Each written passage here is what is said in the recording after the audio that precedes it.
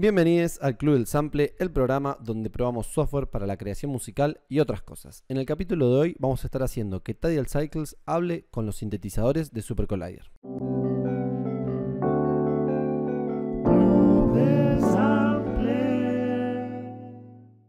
Lo primero que tenemos que saber es que Super Collider es el motor de audio, es decir, es el programa que suena en sí.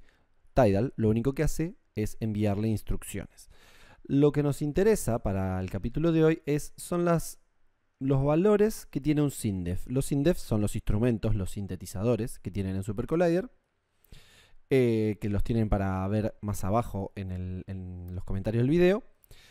Y lo que vamos a estar buscando es en el capítulo de hoy vamos a usar el BASI, ¿no? Y lo que vamos a buscar son estos valores de acá, que son los valores con los que después se, arma el sintetizador. Yo ya lo dije en otro capítulo, no soy muy eh, ducho con los SINDEF. Lo que, lo que a mí me interesa es que si yo modifico estos valores, va a modificar el sonido. Estas son, digamos, nuestras perillas, ¿no? Como si fuese un sintetizador eh, con perillas. Bien, entonces, como es un sinte, primero ponemos las notas y después ponemos el nombre del instrumento.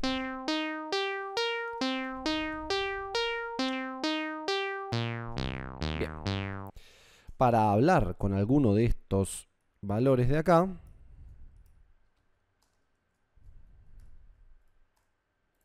¿no? Lo que tenemos que hacer es usar la función F mayúscula, P minúscula, P minúscula, F mayúscula. Entre paréntesis, el nombre del valor que queremos modificar, por ejemplo, reso, que viene de resonancia, que es este valor de acá abajo, y de vuelta entre comillas, el valor nuevo. Estaba en 0.25, yo lo puse en 0.2. Bien, bastante flaco hasta acá. Pero ¿qué pasa? Inmediatamente podemos empezar a armar patrones acá. Y es un poco el chiste, ¿no? Incluso podemos modificar otros valores que tiene el mismo el mismo sinte, ¿no? Como distintas eh, perillas, como dijimos hoy temprano.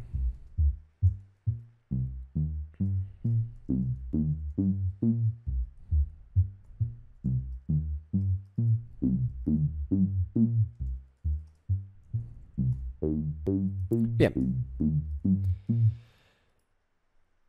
Vamos a sumar otras,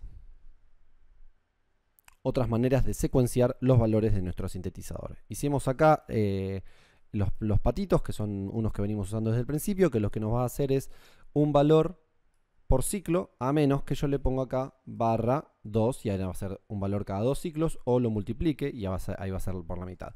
Pero en principio, cada uno de los números es un evento. Si recuerdan, si yo hago esto, si yo pongo entre corchetes, va a considerar esto un evento, esto un ciclo en sí, y va a leer la primera mitad del ciclo acá y la otra acá. vamos a hacer así.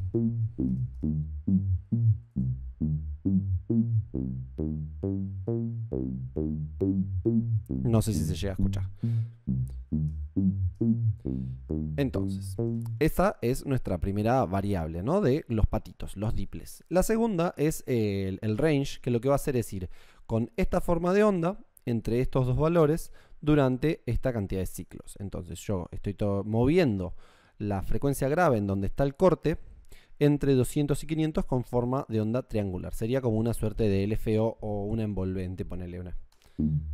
No, una envolvente no. Una automatización, perdón. Bien.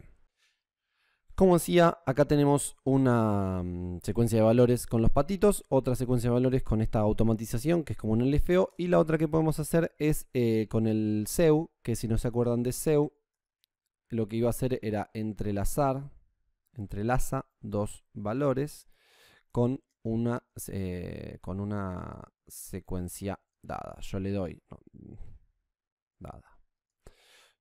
Yo le doy, doy una secuencia de 8 pasos con 3 eventos sonando.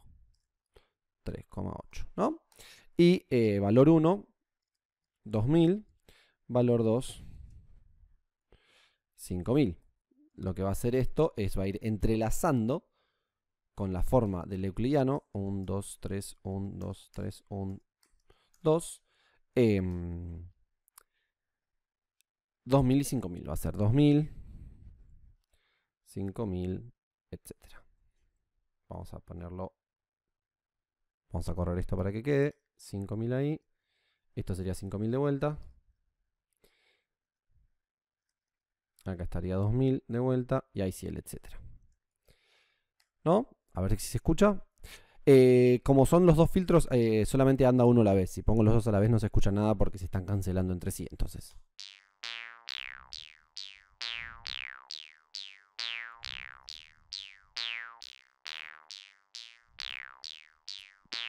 Por ahí es muy sutil. Pero está yendo, está diciendo primero uno y después el otro. Como cambia el paso, eh, esto, este último acá lo que hace es cambiar el lugar en donde arranca. En 0 va a arrancar acá. O sea, este es el primer evento, en 1 va a arrancar acá. Es, una cosita chiquitita del euclidiano, pero está lindo. Entonces, tenemos tres tipos de maneras de armar estas eh, automatizaciones que se van armando con nuestro sintetizador. Em, está el Stitch, que es bastante parecido. Eh, vamos a ver el paneo. El paneo no se va a escuchar. Paneo no se va a escuchar. Eh, vamos con el ataque. Vamos a poner attack. Y el attack stitch verdadero 5,9. Eh, y vamos a poner 0.01, 0.4. Claro, no suena porque es muy poquito.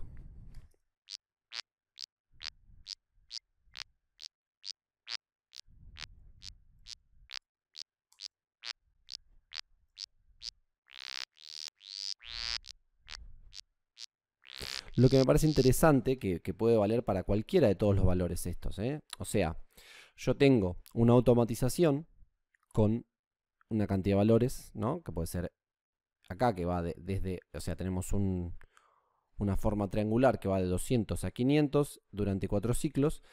Este 200 podría ser otra función ahí adentro. Y lo mismo con todos los valores.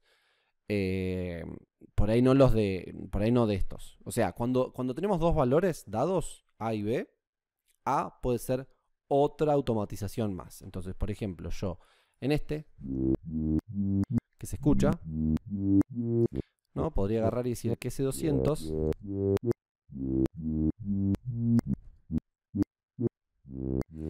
sea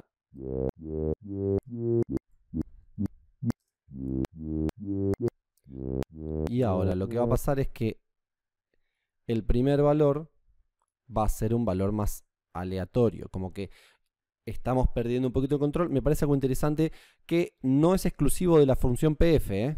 O sea, si yo tengo acá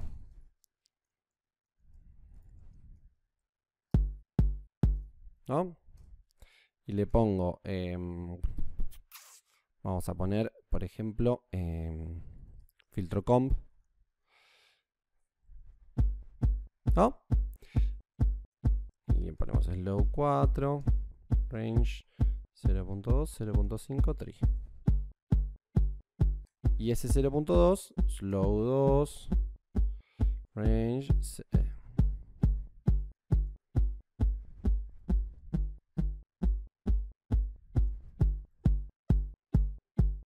Incluso no es necesario que sea el mismo tipo de automatización. Yo acá, por ejemplo, puedo poner un stitch. Eh, vamos a poner 2,4. Y ¿no? esto va a hacer que dos de los cuatro sonidos tengan eh, este sonido, este valor. En realidad vamos a hacer 2,4,01. ¿Por qué? ¿Por qué hago esto? Porque la primera, si, si, yo no le pongo esto, va a ser siempre el mismo, arrancar en el mismo lugar. Son, son cuatro eventos 1, 2, 3, 4. Y, esto significa que va a sonar siempre en el 1 y en el 2, porque es 2 de 4. En cambio, así va a sonar una vuelta en el 1 y en el 2 y la siguiente en el 3 y en el 4. Si no se entienden, me preguntan en los comentarios y ya que están ahí, se suscriben a este hermoso canal. ¿Y qué me falta ahí? tengo la secuencia y voy a poner los valores entre 0.4 y 0.5. Epa. Claro, esto no necesita...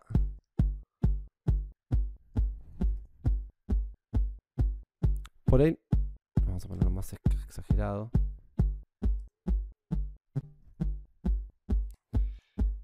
Por ahí son cosas que no se escuchan tanto, eh, en, este ejemplo, pero lo importante es que podemos hacer que nuestras funciones sean bastante dinámicas. Habría que ponerse ahí a, a mirar bien fino en dónde funciona mejor esto, pero digamos de que el sonido ya empieza a estar un poco más complejo, complejizado. Bueno, eso fue todo por hoy. Ahora voy a ver si puedo hacer algo interesante de estos dos canales. Si no, me avisan. Nos vemos el capítulo que viene.